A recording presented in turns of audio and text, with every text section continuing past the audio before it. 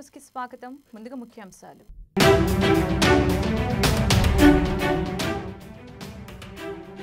శాసన మండలి రద్దుపై కేంద్రం నుంచి సానుకూల నిర్ణయం వస్తుంది. మండలి రద్దు సమాచారం రాగానే తన మంత్రి పదవికి రాజీనామా చేస్తా ప్రకటించిన రాష్ట్ర మంత్రి మోపిదేవి వెంకటరమణ.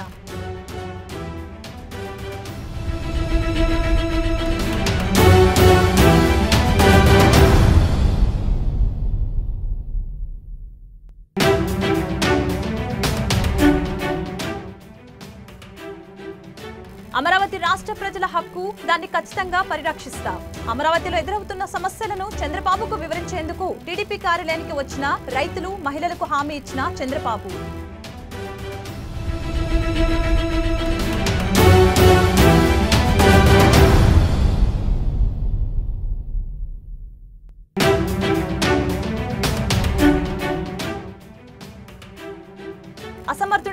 కుమారుడు లోకేష్ను పార్టీ వారసును చేసేందుకు చంద్రబాబు పాట్లు చంద్రబాబు తీరుపై తీవ్ర స్థాయిలో ధ్వజమెత్తిన వైసీపీ అధికార ప్రతినిధి అంబటి రాంబాబు.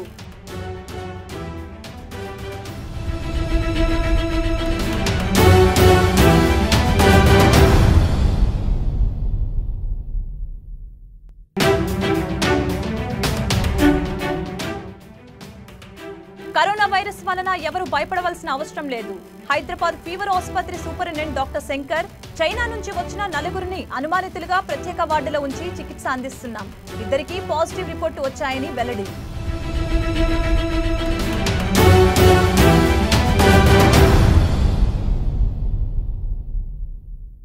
కరోనా వైరస్ వలన ఎవరు భయపడాల్సిన అవసరం లేదని హైదరాబాద్ ఫీవర్ ఆసుపత్రి సూపరింటెండెంట్ డాక్టర్ శంకర్ సూచించారు. చైనా నుంచి హైదరాబాద్ వచ్చిన నలుగురు అనుమానితులను ఫీవర్ ఆసుపత్రిలో పర్యవేక్షిస్తున్నామని తెలిపారు.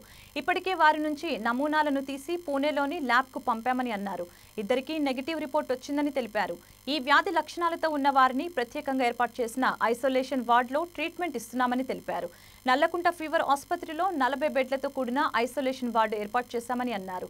ఢిల్లీ నుంచి ముగ్గురు వైద్యుల బృందం ఇక్కడికి వచ్చిందని తెలిపారు. ఇక్కడ పరిశీలించిన అనంతరం గాంధీ ఆసుపత్రిలోని ఐసోలేషన్ వార్డుని పరిశీలిస్తామని తెలిపారు. కరోనా వైరస్కి మందులు లేవని ముందస్తు జాగ్రత్తలు తీసుకోవాలని ప్రజలకు డాక్టర్ శంకర్ సూచించారు.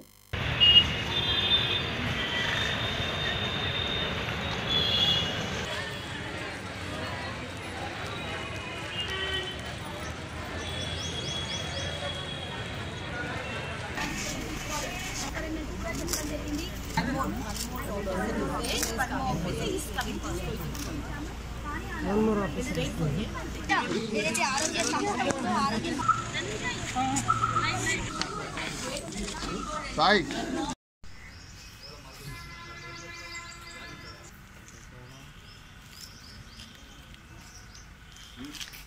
నిన్నటి వరకు జిఎన్ రావు బోస్టన్ కమిటీ నివేదికలు చెత్త తప్పులు తడక బోగస్ అని భోగి మంటల్లో కాల్చారని ఇవాళ వారి రిపోర్టుల్లో విశాఖ రాజధానికి అనుకూలం కాదని చంద్రబాబు ఆయన పచ్చపత్రికలు ఘోషిస్తున్నాయని రాష్ట్ర పురపాలక శాఖ మంత్రి బొత్స సత్యనారాయణ ధ్వజమెత్తారు.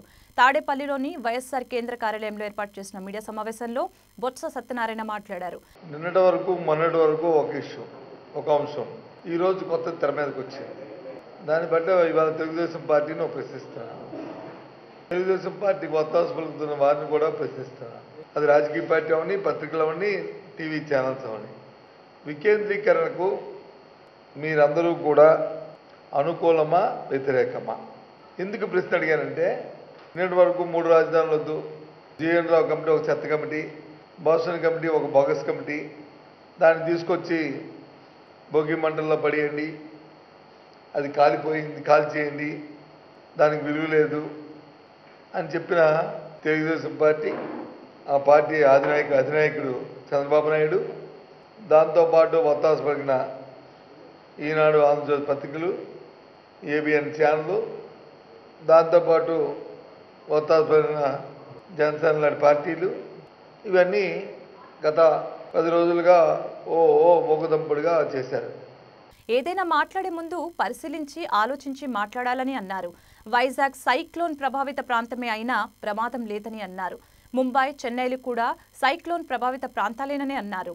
ఇవాళ చూస్తే సైక్లోన్ ఏరియా కాదంటే Chennai cyclone area Bombay cyclone area అవన్నీ కూడా సైక్లోన్ ఏరియా కాదని ఏమన్నా. కానీ చెన్నైలో రాజధాని లేదా బొంబాయిలో లేదా ఇట్లా అవన్నీ సైక్లోన్ ఏరియాలే. సైక్లోన్ ఏరియా అంటే సైక్లోన్ వచ్చినట్టే అవన్నీ కొట్టిపోతాయి. కొట్టిపోవు కదా. కేరళ కొచ్చిన సైక్లోన్ ఏరియా అన్నీ నువ్వు. నీకు ఏది కాదు చెప్పండి. అవన్నీ కాదు కదా. ఆ సైక్లోన్ సముద్రం పక్కనే పెట్టుకొని కూర్చుంటే తప్పు. ఏదైతే దాని సిఆర్ఎఫ్ జెడ్ ఉంటుందో సిఆర్ జెడ్ ఉంటుందో సిఆర్ జెడ్ పక్కన వెళ్తే తప్పు అది? అంతేగాని ప్రాంతం అంతా సైక్లోన్ కాదే? అన్ని పరిగణలో తీసుకుని చేసాం వైజాగ్లో ల్యాండ్ పూలింగ్ పేదలకు ఇళ్ళను నిర్మించేందుకు మాత్రమేనని అన్నారు. వైజాగ్లో ఒకటి పాయింట్ పదిహేడు లక్షల మంది ఇల్లు లేని పేదలున్నారని బొత్స తెలిపారు. జగన్మోహన్ రెడ్డి గారు వచ్చి వచ్చిన తర్వాత నిర్ణయం ఏం చేశారంటే వీలైనంత వరకు ఒక సెంటు ఒక భూమిలో ఇండిపెండెంట్ హౌస్ కట్టాలి ఇండిపెండెంట్గా కట్టాలి కాలనీస్ కట్టాలి అనేది నిర్ణయం తీసుకున్నారు ఆ నేపథ్యంలో వెహికలైజేషన్ కోసం ఈ ల్యాండ్ పూలింగ్ నుంచి అడిగాం. ఏమని? వెహికలైజేషన్ ఇప్పుడు ఇప్పుడు ఇచ్చిన జీవో ప్రతి జీవో కూడా బలహీన వర్గాల తాలూకా గృహాలు కట్టడానికి బలహీన వర్గాలు గృహాలు కట్టడానికి తప్ప దీని వచ్చి పెద్దల తాలూకా సౌకర్యాల కోసం చేయట్లేదు ఇది. చెప్పండి అది చేయొద్దంటారు చెప్పండి. బలహీన వర్గాల గృహ గృహాలు అక్కడ చెప్పండి. దానికి ఏదైతే ఇంతకుముందు అసైన్ ల్యాండ్లు ఏమైనా పట్టా ల్యాండ్ ఉన్న ఎవరైనా ముందుకు వస్తే వాళ్ళకి ఆ ప్యాకేజ్ ఇచ్చామన్నమాట. ఒకవేళ ఎవరికైనా ఇష్టం లేకపోతే మా మానేవచ్చు మాకేం బలవంతం లేదు. దమ దాని మీద ఏమీ దౌర్జన్యం లేదు. ఇక్కడలాగా వచ్చి ఐదు తోటలు కాల్చక్కర్లేదు. పేడ పేడ చెట్లు కా అరటి చెట్లు కాల్చక్కర్లేదు. లేదా మామిడి చెట్లు వచ్చి తీసి ఎక్కర్లేదు ఎవరైతే సామాన్యులు బలహీన వాళ్ళు ఇంట్లో ద- ఎండకి ఎండి వాన తొడుస్తూ నిలువు నీళ్ళు లేకుండా ఎవరైతే ఉన్నారో వారి కోసం విశాఖపట్నంలో సుమారు లక్ష డెబ్బై ఆరు వేల ఏడు వందల అరవై మంది అభ్యర్థులు ఉన్నారు. వారి కోసం ఈ కార్యక్రమాన్ని చేస్తున్నాం అక్కడ. తెలంగాణ ప్రభుత్వం ప్రతిష్టాత్మకంగా నిర్వహిస్తున్న మేడారం సమ్మక్క సారక్క జాతరకు రావాలని కోరుతూ గిరిజన సంక్షేమ శాఖ రూపొందించిన మేడారం జాతర రెండు వేల ఇరవై ఆహ్వాన పత్రికను తెలంగాణ రాష్ట్ర సమితి పార్టీ కార్యనిర్వాహక అధ్యక్షులు పురపాలక శాఖ మంత్రి కేటీఆర్ ఆవిష్కరించారు. సమ్మక్క సారక్కలమ్మ జాతరలో జరుగుతున్న పనుల గురించి మంత్రులు కేటీఆర్కు వివరించారు. కేటీఆర్ను కలిసిన వారిలో గిరిజన సంక్షేమ శాఖ మంత్రి సత్యవతి రాథోడ్ పంచాయతీ శాఖ మంత్రి ఎర్రపెల్లి దయాకర్రావు ఎంపీ మాలోత్ కవిత పోచారం శ్రీనివాస్ రెడ్డి తదితర తెలంగాణ నేతలు పాల్గొన్నారు. అమరావతి రాష్ట్ర ప్రజల హక్కు దాన్ని ఖచ్చితంగా పరిరక్షిస్తామని చంద్రబాబు పేర్కొన్నారు. అమరావతిలో ఎదురవుతున్న సమస్యలను చంద్రబాబుకు వివరించేందుకు రాజధాని రైతులు మహిళలు పార్టీ కార్యాలయానికి వచ్చారు. ఈ సందర్భంగా పలు సమస్యలను వారు చంద్రబాబు దృష్టికి తీసుకువెళ్ళారు. ఈ సందర్భంగా చంద్రబాబు మాట్లాడుతూ తమ మాట వినలేదని మండలి చైర్మన్ను ఇష్టం వచ్చినట్లు తిట్టారు. చేసిన తప్పులకి సీఎం జగన్ సరిచూసుకోవటం లేదని అన్నారు. అదే మరి శాసన మండలిలో ఎప్పటికప్పుడు మీరు చేసే తప్పుడు నిర్ణయం ఈ నిర్ణయాన్ని రీకన్సిడర్ చేయాలి. ప్రజల అభిప్రాయాలు కూడా తెలుసుకోవాలనే ఉద్దేశంతో రాజధాని పైన మూడు రాజధానులు వద్దు ఒక రాజధాని కరెక్ట్. ఇది ప్రపంచంలో ఎక్కడ కూడా లేనటువంటి ప్రయోగానికి మీరు పోతున్నారు. దీనివల్ల రాష్ట్రం పూర్తిగా నష్టపోతుంది. అలాంటి దీనికి శ్రీకారం చుట్టద్దని చెప్పి చాలా స్పష్టంగా చెప్తూనే మీరు టైం కూడా ఇవ్వలేదు అనే ఉద్దేశంతో సెలెక్ట్ కమిటీకి పంపిస్తే సెలెక్ట్ కమిటీ పంపించారనే ఉద్దేశంతో ఆక్రోషంతో ఈరోజు శాసన మండలి రద్దుకు తీర్మానం చేసి పంపించడం చాలా దురదృష్టం. దీనిపైన ఈయన ప్రజాస్వామ్య వ్యవస్థ గురించి మాట్లాడుతున్నాడు.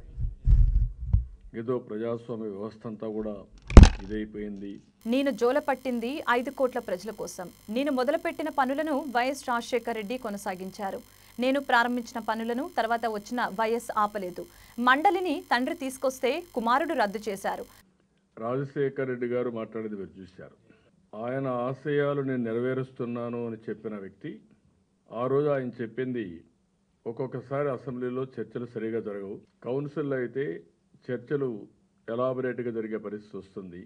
ఓసారి చర్చలు జరగకుండా కూడా కౌన్సిల్కి వచ్చి కౌన్సిల్లో చర్చ జరిగే సందర్భాలు ఉన్నాయి అందులో కూడా ఇక్కడ ఎక్కువ లేషర్గా చర్చించే అవకాశాలు ఉంటాయి అందుకని నేను దీన్ని పూర్తిగా సమర్థిస్తున్నానని రాజశేఖర రెడ్డి గారు దీన్ని తీసుకొచ్చారు. నన్ను విమర్శించే జగన్మోహన్ రెడ్డి గారు ఆలోచించుకోవాల్సిన అవసరం ఉంది.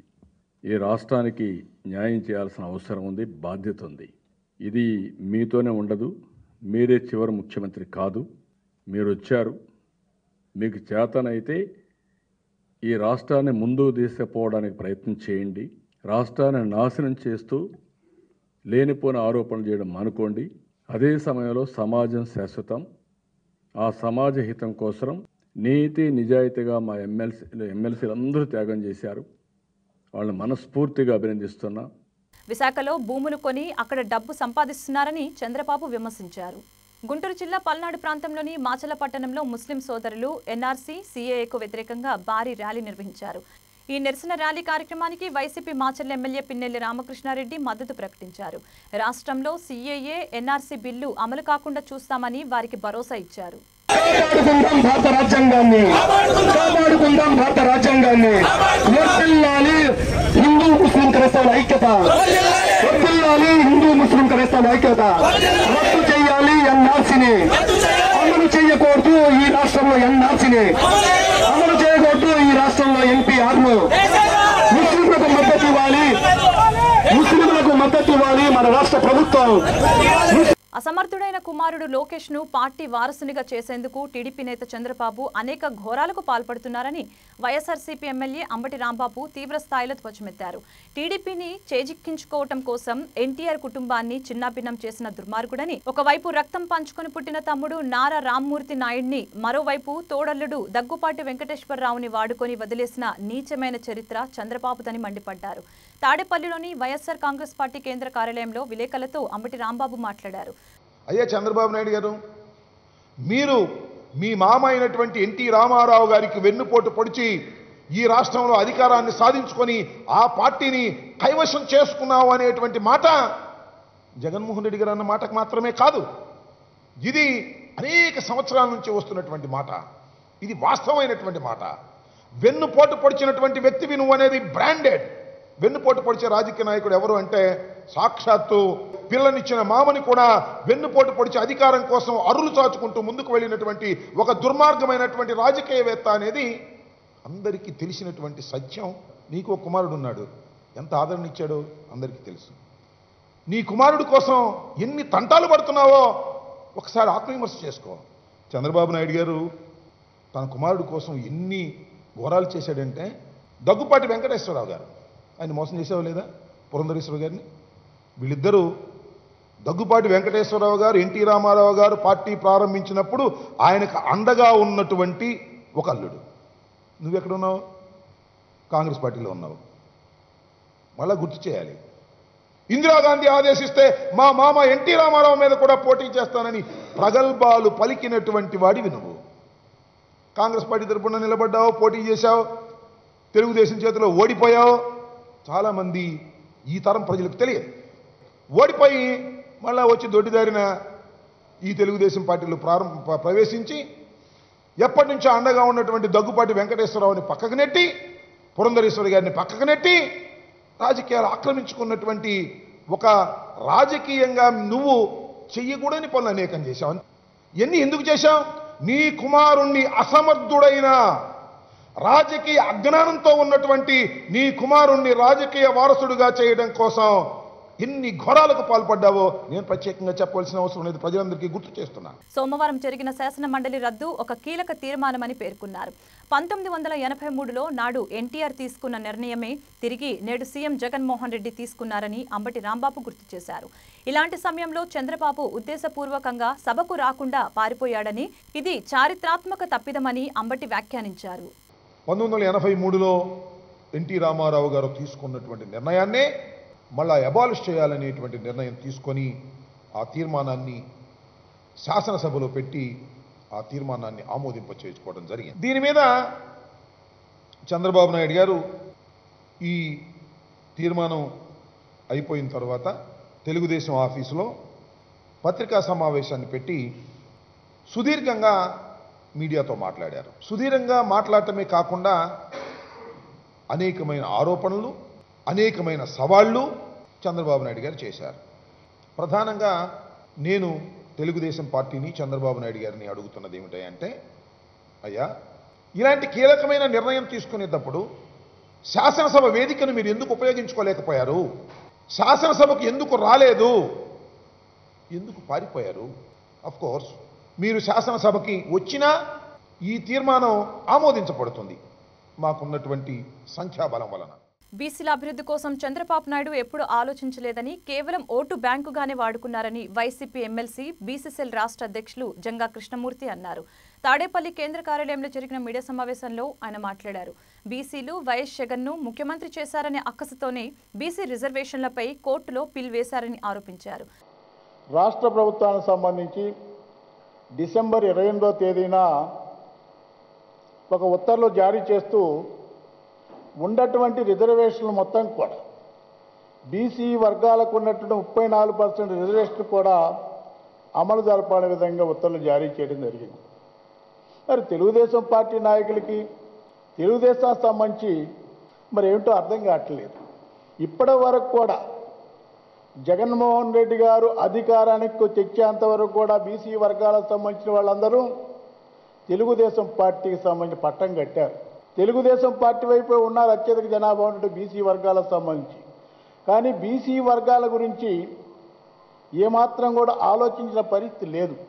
ఈ రోజున జగన్మోహన్ రెడ్డి గారు అధికారానికి వచ్చిన తర్వాత ఫిఫ్టీ పర్సెంట్ సంబంధించినటువంటి నామినేట్ పదవులకు సంబంధించినటువంటి రిజర్వేషన్ కూడా చట్టం చేయటం జరిగింది. పిల్ వేసిన ప్రతాపరెడ్డి చంద్రబాబు టీడీపీ ఎమ్మెల్సీ బాబు రాజేంద్ర ప్రసాద్కు సన్నిహిత సంబంధాలు ఉన్నాయని పేర్కొన్నారు. బీసీలపై ఏమాత్రం ప్రేమ ఉన్నా వెంటనే పిల్ ఉపసంహరించుకోవాలని ఆయన కోరారు. బీసీలపై ఉన్న ప్రేమతోనే పార్లమెంటు సభ్యులు విజయసాయిరెడ్డి పార్లమెంటులో బీసీల కోసం ప్రైవేటు బిల్లు పెట్టారని చెప్పారు.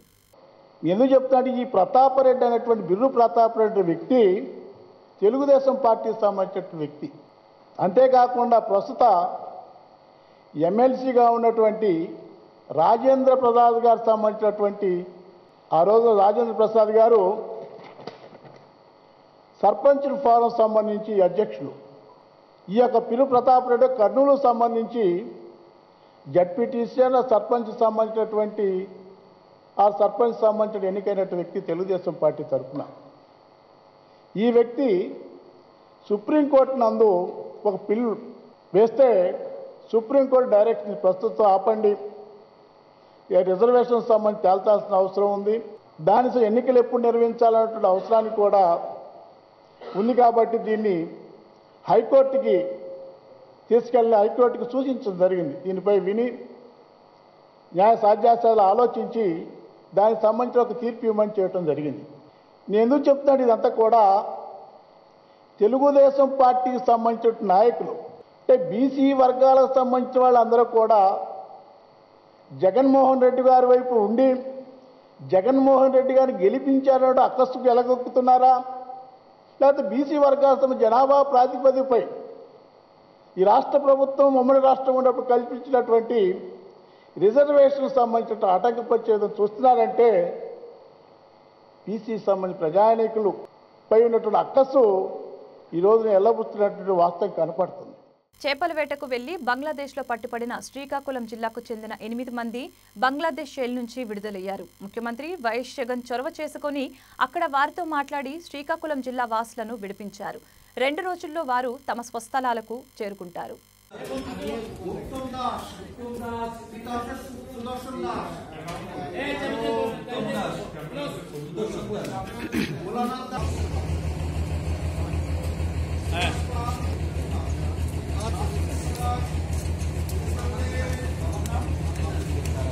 বিউটিফুল বাংলাদেশ যাও। হ্যাঁ কবে? হয়েছে আপনার সাথে দেখা করলাম না আপনার কি অবস্থা? হ্যাঁ, সবাই দুজন ভোট দাও। ওদের ওই যে শুরু থেকে বসাই বসাই আমরা হ্যাঁ। যাও যাও হ্যাঁ, দুই। এই তিন।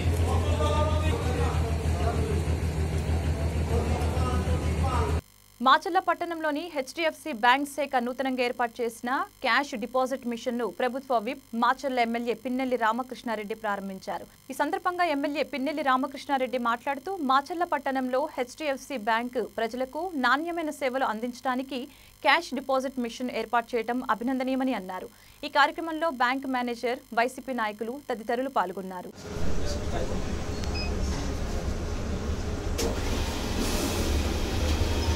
టూ కానీ కార్ డోర్ కానీ ఏదైనా కానీ వాళ్ళు బ్యాంక్ వెళ్ళకుండా తీసుకునే అవకాశాలు కల్పించి కూడా ఇచ్చేస్తున్నాయి